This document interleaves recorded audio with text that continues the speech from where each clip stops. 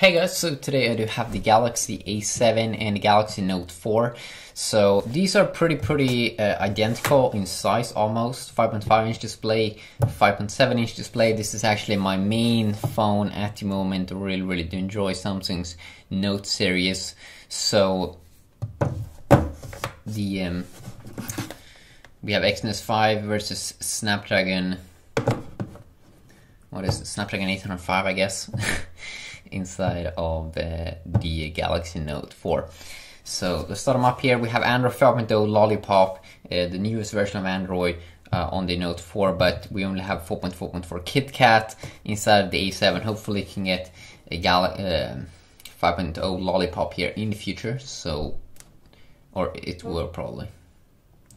It will probably do, get that because we saw an article about that online, or I saw an article about that.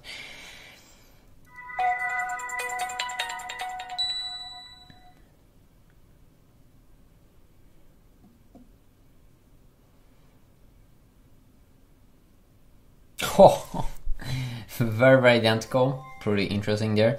Uh, that's quite nice actually to know that both versions are pretty, pretty optimized to work uh, pretty, pretty similar there. Um, of course, you can see some UI differences here definitely more of a round, rounded uh, lollipop design here inside of the note 4 and you can also see that when we go down over here that this one with this new Fabio lollipop design you can see the background. So that's kind of interesting cool useful. This one is covering the whole thing. I actually do believe that the button colors is a little bit better here almost than this very, like very bright UI that we do get uh, on the uh, Galaxy Note 4. In here also very very identical the app section. So let's just go in here as well. You can also see pretty pretty identical here as well. But about device Android 5.1, Android 4.4.4, KitKat, sweet. You can also see in here this is kind of surprising in a way that you have these options. I mean, it's almost like better uh, than not having those options, the volume things in the Note 4. But uh, yeah, that's kind of fun actually.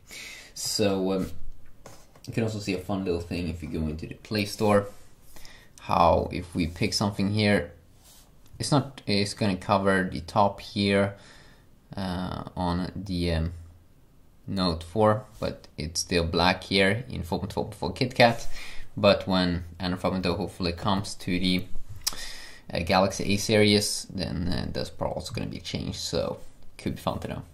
Have an awesome day.